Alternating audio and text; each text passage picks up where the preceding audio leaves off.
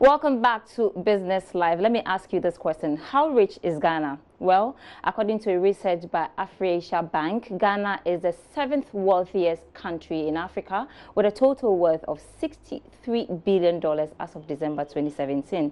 Sounds great, but let's go for the details in our summaries.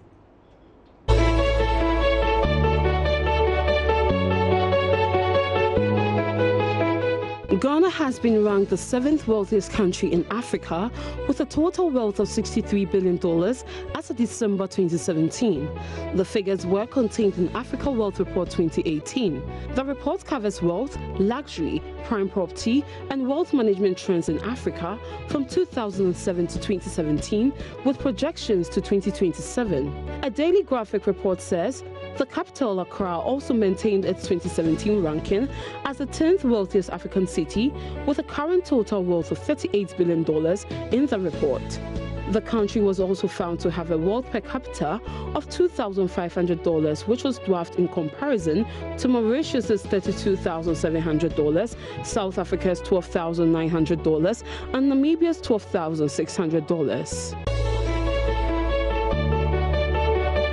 The management and board of Ghana Post Company Limited have outlined a number of strategies to revamp postal services, especially domestic parcel services.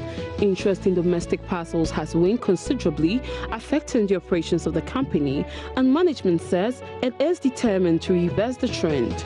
As Ghana joins the World to mark World Postal Day today, Managing Director of Ghana Post, Mr. James Kwofie, is of the view that many customers are unaware that the company undertakes domestic parcel parcel deliveries. The domestic parcel delivery services, he explained, would help its customers and prospective customers to safely send their items from one part of the country to another.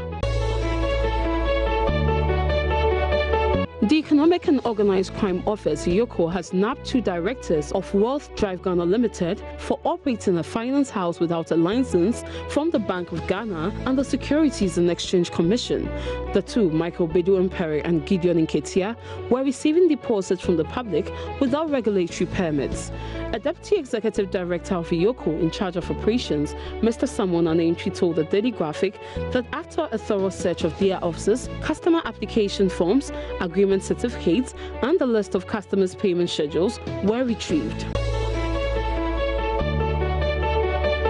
South Africa's finance minister has resigned after admitting meeting members of the Gupta family who have been accused of corruption. Nhlanhla Nene told an inquiry into the alleged influence of the Guptas about meetings that he had previously denied. The Guptas have been accused of working with former President Jacob Zuma to secure government contracts and determine cabinet appointments. Both the Guptas and Mr. Zuma strongly denied the allegations. Mr. Nene has been replaced by former central bank chief Tito Mboweni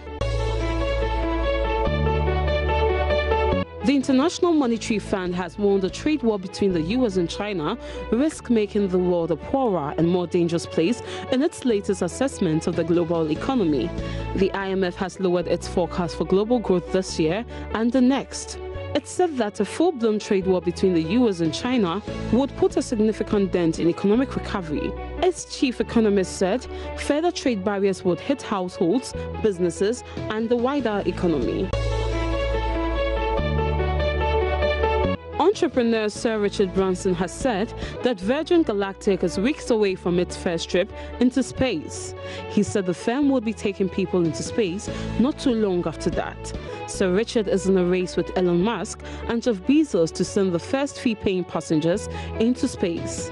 He founded the commercial spaceflight company in 2004. The company first promised suborbital spaceflight trips for tourists by the start of 2009, but delays in a fatal crash in 2014 prevented Sir Richard's original ambitions.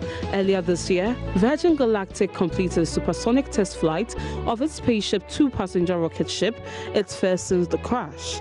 The 67 year old multimillionaire was initially expected to take part in spaceflight before April this year.